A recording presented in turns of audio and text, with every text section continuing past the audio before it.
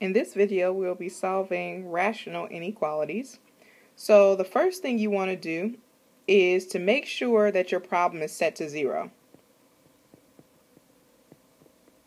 So that step's already done for us is greater than or equal to zero.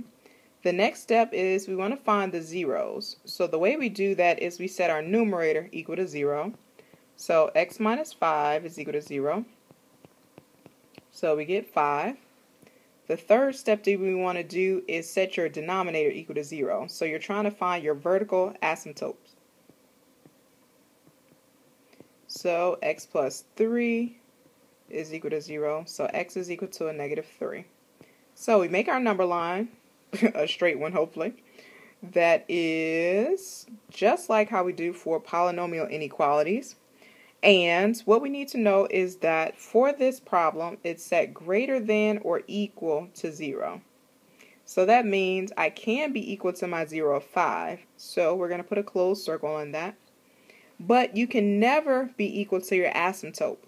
Because if x is a negative 3 and we plug that into our problem, negative 3 plus 3 is 0. And 0 in our denominator is undefined. So this we have an open circle at the value of negative 3. So now what we want to do is to test a value in each region. So if I test something on the left of negative 3, let's say negative 4, I will have negative 4 minus 5, which gives me negative 9. And then I would have negative 4 plus 3, which gives me negative 1. So a negative divided by a negative makes a positive. So anything on the left-hand side, I'm going to have a positive result for my answer. Then I need to test a value in between negative 3 and 5. So let's test 0.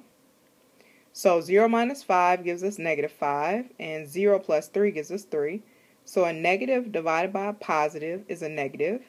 So anything in between negative 3 and 5 is a negative. Then I want to test a value on the right of 5. So let's test, say, 6. So 6 minus 5 gives us 1. And 6 plus 3 gives us 9.